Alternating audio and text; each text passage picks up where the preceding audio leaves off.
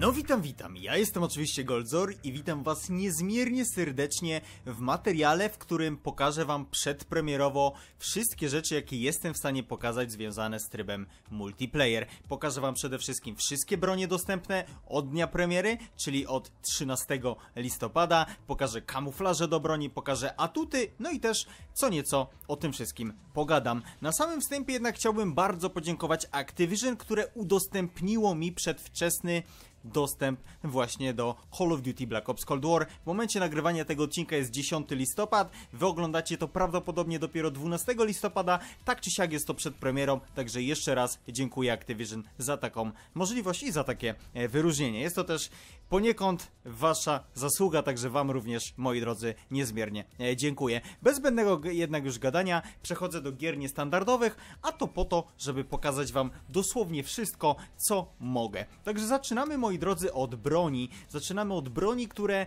już od 13 listopada będą dostępne dla posiadaczy Call of Duty Black Ops Cold War, oczywiście w trybie multiplayer. Jeżeli chodzi o karabiny szturmowe, mamy XM4, AK-47, Kriga 6, QBS 83, FFR 1 i to są wszystkie karabiny szturmowe. Jest to znaczna, e, zna, jest to znacznie mniejsza ilość karabinów szturmowych niż w Modern Warfare 2019, bo tych karabinów jest tylko 5, natomiast oczywiście e, z biegiem czasu będą się pojawiały nowe bronie i będą to też m.in. właśnie karabiny szturmowe. Jeżeli chodzi o pistolety maszynowe, tutaj mamy dostępną MP5, Milano 821, AK-74U, KSP-45, Bull Froga i to w zasadzie e, tyle. Jak widzicie, sporo tych broni przypomina wam e, już znane wam dobrze bronie, m.in. Bullfrog, no to jest, to jest chyba odpowiednik Pepe Bisona, AK-74U to wiadomo, Milano odpowiednik Mini Uzi, e, to jest oczywiście MP5, e, także no jak widzicie, to wszystko się powtarza z poprzednimi częściami, ale oczywiście jeżeli chodzi o bronię,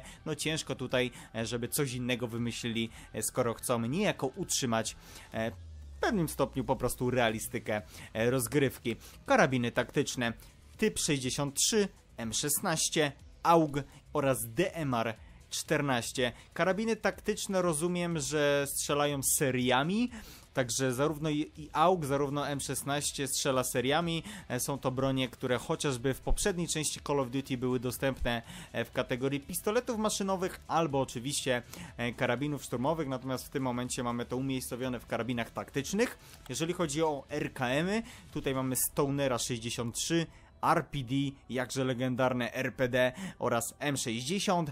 E, no i na sam koniec karabiny snajperskie, czyli, czyli oczywiście Pellington 703, LW3 Tundra oraz M80 2. To jest wszystko, co mamy, jeżeli chodzi o bronie główne. Przechodzimy oczywiście do broni zapasowych, a tutaj zaczynamy od pistoletów 1.9.11, Magnum oraz Diamatti. Jedynie trzy pistolety na sam start e, gry. Następnie mamy strzelby, tych jest tylko dwie. Jest to Hauer 77 oraz Galo SA12. Następnie wyrzutnie Sigma 2 oraz RPG 7. Bronie do walki wręcz tutaj tylko i wyłącznie nóż. No i w kategorii specjalnych mamy granatnik M79.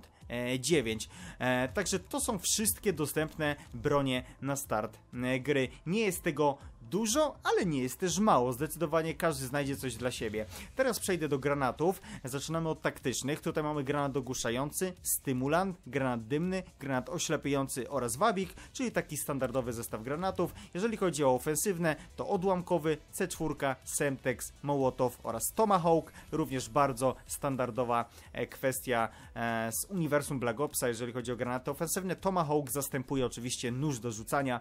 E, ja osobiście dużo bardziej jestem fanem chociażby właśnie Tomahawków, e, także fajna e, sprawa. Jeżeli chodzi o ulepszenia polowe, bo, ulepszenia polowe, bo te również mamy w Black Ops Cold War, no to tutaj mamy kilka ciekawych rozwiązań. Przede wszystkim mina zbliżeniowa znajduje się w ulepszeniu polowym.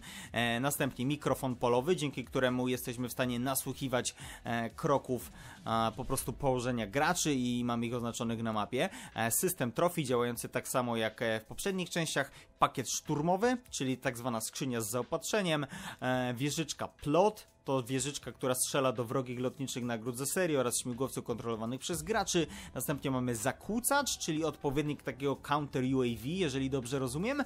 No i minę gazową. To są, to są wszystkie ulepszenia polowe. Teraz przechodzimy już do najciekawszej, myślę, kwestii, e, bo do atutów, a tych jest naprawdę sporo i niektóre są bardzo ciekawe. Także rozpoczynamy od kategorii czerwonych, tak je nazywajmy. Na sam początek inżynier, który oczywiście pozwala nam wykrywać wrogi sprzęt i nagrody za serię punktów przez ściany.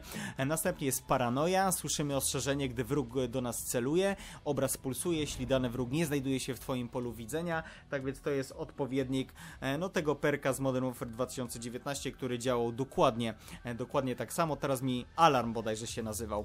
E, kamizelka przeciwodłamkowa, odnosimy mniejsze obrażenia od materiałów wybuchowych i od ognia z mołotowów oraz łuku bojowego. Maska taktyczna, maksymalna odporność na działanie działanie granatów błyskowych, ogłuszających, niewrażliwość na gaz oraz wysunięty zwiadowca, czyli widzimy na, na minimapie wskaźniki powracających do walki wrogów. Minimapa obejmuje e, większy teren. Dosyć ciekawy perk, nie wiem czy był on jeszcze w jakiejkolwiek części Call of Duty, Teraz nie jestem sobie w stanie przypomnieć. Jeżeli był, to raczej nigdy z niego nie korzystałem. Zobaczymy, jak będzie e, w tej części. Atuty niebieskie. Zabójca. Wrogowie, którzy strzelają lub zostali wykryci przez samolot szpiegowski, są oznaczeni na minimapie celownikiem zamiast czerwonej kropki, jeśli mają serię zabójstw. Zabicie ich da ci dodatkowe punkty, czyli coś dla tych, którzy chcą polować na tych najlepszych graczy w lobby. Następnie mamy fachowca. Krótszy czas odnowienia ulepszeń polowych, możesz jednocześnie dwie sztuki ulepszenia polowego. Ok, padlinożerca, zbieramy po prostu amunicję z martwych graczy. Kwatermistrz, odnawiamy wyposażenie po 25 sekundach. Tropiciel, widzimy ślady stóp wrogów, wrogowie, do których celujesz zostają oznaczeni na minimapach twoich sojuszników. Także ciekawy również dodatek e, do atutu e, Tropiciel. Teraz przechodzimy do atutów żółtych, czyli ostatniej kategorii. I tutaj mam wrażenie, że są najlepsze e, atuty zdecydowanie spośród wszystkich. Na początek na Rambo. Podczas sprintu możemy strzelać i używać wyposażenia. Podczas przeładowywania poruszamy się z pełną prędkością, szybciej zmieniamy broń, odnosimy mniejsze obrażenia od upadków. Podczas wykonywania w ślizgu strzelamy celniej. Także jak widzicie, bardzo dużo e, dynamiki e, ten atut nam umożliwia. Duch, no standardowo, duch. Samoloty szpiegowskie nie wykrywają nas podczas ruchu, podkładania lub rozbrajania bomb i kontrolowania nagród za serię. Kluczową kwestią jest tutaj to, że podczas ruchu, także jeżeli będziecie siedzieli w jednym miejscu, nawet z wybranym tym atutem nie będzie on Was chronił przed BSP, także jest to bardzo ważna e, tutaj sprawa. Zimna krew. Nagrody za serię punktów kontrolowane przez komputer nie namierzają nas. Nagrody za serię punktów kontrolowane przez graczy nie oznaczają nas. Termowizor nie wykrywa nas, a gracze w pojazdach nie widzą plakietki z naszą nazwą. Dodatkowo mamy odporność na latarki. Także to jest atut zimna krew, atut ninja. Podczas biegu robimy mniej hałasu. Mikrofon polowy nie wykrywa nas podczas sprintu. E, mówimy tylko wtedy, gdy, gdy, gdy to konieczne, czyli nasza postać krzyczy tylko gdy to konieczne. Ciekawa jestem, jak to będzie dokładnie działać, ale jak widzicie, no tutaj ja praktycznie każdy z tych perków chciałbym mieć na sobie, także no zdecydowanie taka ta kategoria żółtych jest najciekawsza, a na sam koniec mamy jeszcze atut szpiegostwo, możemy hakować wrogie ulepszenia polowe, mamy odporność na działanie samolotu zakłócającego, zakłócacza, tropiciela i paranoję. Nie uruchamiamy min zbliżeniowych i min gazowych, na wrogich pakietach wsparcia możemy zakładać pułapki, więc również bardzo fajny perk, do którego widzę sporo zastosowań. Także to były wszystkie perki, jak widzicie jest ich sporo i naprawdę są niektóre kluczowe. A teraz przechodzimy do dzikich kart, które między innymi umożliwiają nam użycie większej ilości perków z danej kategorii, czyli nie, nie ograniczamy się e, tylko na przykład do jednego czerwonego, jednego niebieskiego i jednego żółtego, ale o co dokładnie chodzi e, już Wam tłumaczę. Pierwszą dziką kartą jest niebezpieczne blisko. Możemy wybrać dodatkowe wyposażenie ofensywne i taktyczne, zaczynamy z dodatkową amunicją, czyli po prostu gramy z większą ilością e, e granatów, e, stanów i tak dalej od samego początku. E, dodatkowo mamy po prostu więcej amunicji, czyli takie, o, takie dosyć re regularna sprawa. E, nie jest to żaden game changer. Łamanie zasad. Możemy wybrać dowolną e, broń z dowolnej klasy w obu slotach. Wybieramy kilka atutów z jednej kategorii, czyli wybierając tę dziką kartę, jesteśmy w stanie, zaraz e, pokażę wam to w tym momencie, jesteśmy w stanie wybrać sobie kilka atutów z danej kategorii, czyli na przykład nie mam, nie mam wybranego żadnego atutu z kategorii czerwonych, z kategorii niebieskich, a chcę mieć na przykład trzy atuty z kategorii żółtych, no i dzięki temu, e, dzięki tej dzikiej karcie jestem w stanie właśnie to uzyskać. Także jak widzicie teraz e, mam tutaj klasę ze snajperką, z karabinem szturmowym oraz z trzema atutami z kategorii żółtych. Także to jest według mnie bardzo fajna dzika karta i będzie chyba najczęściej używana przez graczy. Następnie mamy kartę spec od broni. Odblokowujemy trzy dodatkowe sloty na dodatki do broni głównej, czyli po prostu nasza broń główna może mieć 8 dodatków. O dodatkach Wam nie wspominałem, bo tego jest naprawdę dużo. E, musiałbym przelatywać przez naprawdę każdą broń,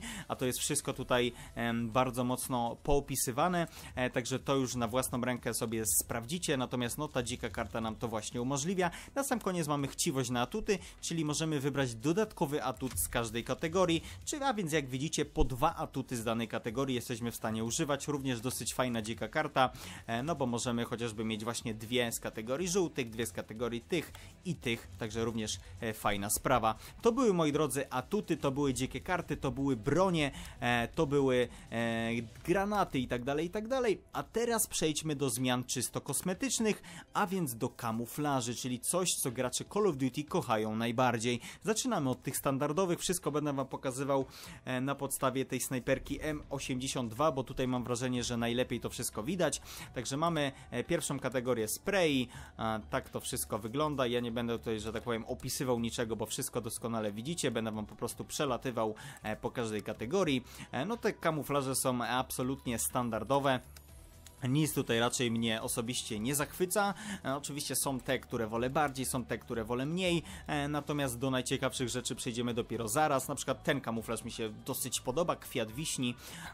no taki po prostu mój klimat. E, mamy jeszcze takie kamuflaże. Oczywiście te, te kamuflaże są dostępne na wszystkich broniach. Są one takie same, więc działa to tak samo jak w Modern Warfare 2019. Po prostu pokazuję wam to na przykładzie tej broni i tyle. ok, i ostatnia kategoria to są kamuflaże kamuflaże mistrzowskie, czyli odblokowujemy je za odblokowanie odpowiednich wyzwań wcześniej. Czyli na przykład kamuflaż złoty odblokujemy za odblokowanie wszystkich tych kamuflaży wcześniejszych, a złoto prezentuje się następująco.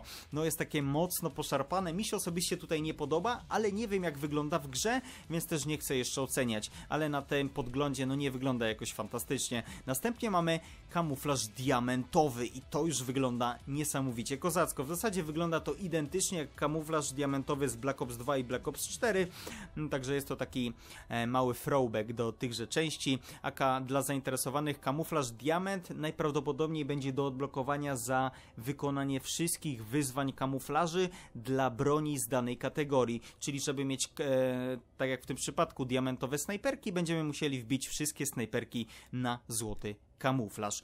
A następnie na sam koniec mamy już coś dla takich wyjadaczy, którzy e, w tej grze będą poświęcali najwięcej czasu. Mamy kamuflaż ciemna materia, jak widzicie kamuflaż animowany, czyli coś z czego Black Ops słynie, to oni wprowadzili jako pierwsi te kamuflaże animowane. No i ciemna materia to jest odpowiednik Damaskusa, e, więc e, żeby ją odblokować będziemy musieli wbić każdą broń w grze na złoto. Tak ona się prezentuje. Też nie wygląda jakoś świetnie tutaj, być może na tym podglądzie, ale jestem przekonany, że w grze będzie o wiele, wiele lepiej. I to są kamuflaże z trybu wieloosobowego, ale mamy jeszcze kamuflaże z trybu multiplayer, z trybu zombie oczywiście. I one prezentują się następująco. E, tak samo wam przejadę po tym wszystkim. E, nie wiem dokładnie, jakie będą wyzwania na te kamuflaże, jeżeli chodzi o tryb zombie, bo nigdy, że tak powiem, nie skupiałem się na trybie zombie. E, natomiast niektóre te kamuflaże mam wrażenie, że są nawet fajniejsze niż te z trybu multiplayer, więc chyba warto w tym roku będzie troszkę pograć również i w tryb zombie. Dajcie znać, czy chcecie jakąś miniserię z zombie na kanale. E, tak się te kamuflaże prezentują.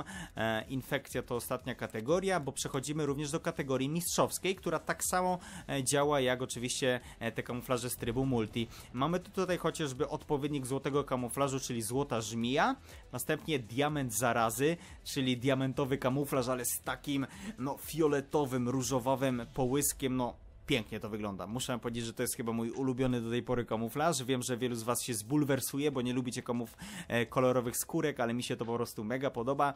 No i na sam koniec odpowiednik Damaskusa, tylko że z trybu zombie a więc mroczny eter, bardzo podobny do tego poprzedniego, e, natomiast taki bardziej właśnie mroczny, jak sama nazwa wskazuje. Także do odblokowania w tej grze są tak naprawdę dwa Damaskusy, co brzmi bardzo fajnie, między innymi dla mnie jako twórcy internetowego, bo będę miał z czego robić serię, z czego nagrywać odcinki. Tak według e, twórców e, będą prezentowały się kamuflaże w tejże e, grze. Są oczywiście jeszcze pola na naklejki, na akcesoria, ale to wszystko będziemy odblokowywali z biegiem e, czasu. Następnie mamy coś takiego jak e, Mistrzostwo Broni, czyli tutaj jak widzicie mamy no po prostu wyzwania na daną broń. Za uzyskanie, za wykonanie danych wyzwań odblokowujemy jak widzicie czy to emblematy, czy to jakieś naklejki itd., tak itd., tak a za odblokowanie wszystkiego, czyli za odblokowanie kamuflażu diament dla wszystkich klas broni w multi multiplayer.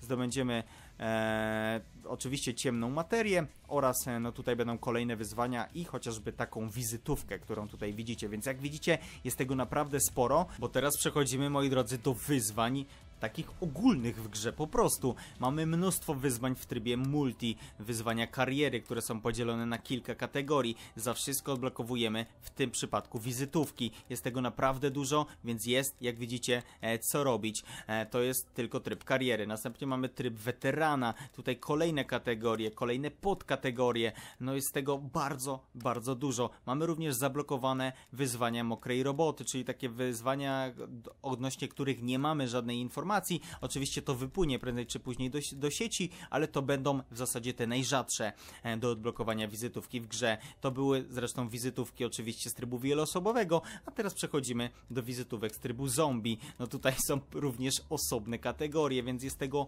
naprawdę dużo. Jest tego tak dużo, że jestem troszkę e, no przestraszony, ile tutaj będzie rzeczy do odblokowywania. Ja się powoli w tym po prostu zaczynam e, gubić i oczywiście na sam koniec, no tutaj jak widzicie są kolejne kategorie. Nie będę wam wszystkiego pokazywał, bo ten materiał trwałby 40 minut, ale no sami widzicie, że jest tego po prostu niesamowicie dużo. Na sam koniec mamy oczywiście jeszcze e, wyzwania z fabuły, czyli również osobne kategorie, dzięki którym odblokowujemy osobne e, wizytówki i tak dalej, i tak dalej. No i standardowo do każdej z tych podkategorii mamy wyzwania z zakresu mokrej roboty. Tego jest naprawdę dużo, moi drodzy, naprawdę dużo. Na sam koniec, moi drodzy, chcę wam pokazać oczywiście operatorów, a może nie, bo jeszcze są przecież nagrody za serię punktów, czyli coś bardzo ciekawego. E, mamy tutaj przede wszystkim łuk bojowy jako najprostszy, następnie RCXD, samolot szpiegowski, samolot zakłócający, pancerz, pakiet wsparcia, działko strażnicze, zrzut napalmu, artylerię, pocisk manewrujący, patrolowce, maszynę wojenną, śmigłowiec szturmowy, strzelec śmigłowca, witol eskortowy oraz najwyższy killstreak dostępny w grze to samolot e, bojowy. To co mnie osobiście martwi to to, że nie ma żadnego odpowiednika zaawansowanego BSP, a pierwotnie w wyciekach taki killstreak był. Tych killstreaków było po prostu więcej, ale widocznie twórcy usunęli ten killstreak, przynajmniej na premierze gry. Dajcie znać, co wy o tym sądzicie. Mi tego najbardziej brakuje. Oczywiście, jak każdy z killstreaków działa, no to będziemy e, sprawdzali e, po prostu poprzez grę. E, także to były killstreaki. No a na sam koniec, tak jak mówiłem, operatorzy, którzy są podzieleni na dwie frakcje. Frakcja NATO, tutaj mamy Huntera, mamy Songa, następnie jest Park, Adler, Baker, e, Sims oraz Woods. I to są e, właśnie operatorzy z frakcji NATO. A jeżeli chodzi o frakcję Układu Warszawskiego, to mamy tutaj Vargasa, e, mamy Powers, mamy Portnowe, Beka, Garcia oraz Stone'a. No to są ciemne charaktery E, także no tutaj już będzie nasz wybór. E, bardzo podobny podział e, jak, jak w Modern Warfare, właśnie na dwie frakcje. E, no i w zasadzie to chyba tyle, co wam chciałem pokazać. Żadnego gameplayu nie wrzucam, bo tych będzie po prostu mnóstwo w najbliższych dniach na moich kanale, więc bez sensu, żebym jeszcze tutaj coś pokazywał, ale myślę, że nieco wam tutaj pokazałem przed premierą. To jest najważniejsze. E, także dajcie znać, co wy o tym wszystkim sądzicie. Jeżeli macie jakieś pytania, to oczywiście je zadawajcie. Będę starał się na nie odpowiadać w sekcji komentarzy. A jeżeli chodzi o ten materiał, to by było już na tyle. Pamiętajcie o łapce w górze, pamiętajcie o subskrypcji, by być na bieżąco chociażby z tego typu filmami. No i moi drodzy, zaczynamy Black Ops Cold War. Nie mogę się już doczekać, aż spotkamy się w trybach multiplayer, czy to na nowym Warzone, który przypominam, że połączony z Black Ops Cold War zostanie już 10 grudnia. Tyle ode mnie, mówi Goldzor. Na razie.